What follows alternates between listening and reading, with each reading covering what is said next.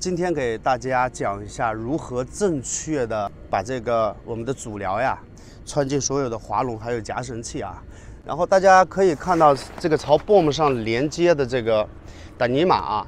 然后我看很多的船啊，他就把这个把这根绳子就省略掉了，直接把滑轮放在这个地方。你说有没有什么大问题？没有，但是会有很多的小问题。呃，谁用谁知道？为什么呢？当绳子这么高的时候，你把这个滑轮直接放上这个就是我们的 BOOM 上啊，我们的这样绳环就会很长，那它就很容易的来缠绕到一起。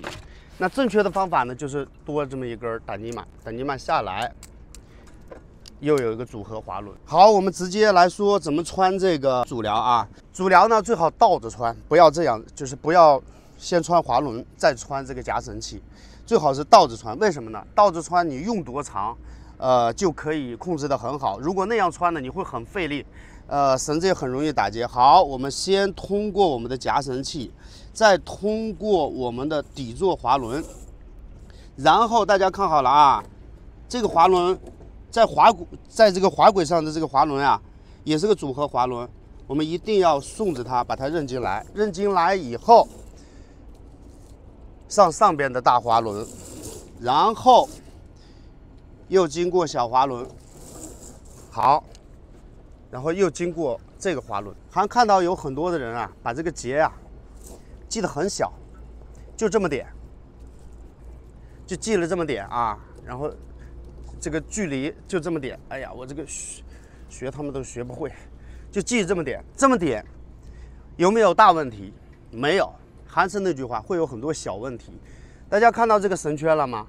这个绳圈在跟这个受力的时候，绳子的摩擦是不是就会增加？然后如果缠绕呢，是不是又会就是如果缠绕？就是因为它的宽度，所以会缠绕的很死，你很难处理。那正确的做法是什么样呢？给它留一个大概十厘米的空间，你让它这个绳圈的摩擦呀，给它避到最远。看，如果再这样的话，大家再看啊，我把绳子收紧了，大家可以看到这个结是不是在中间的？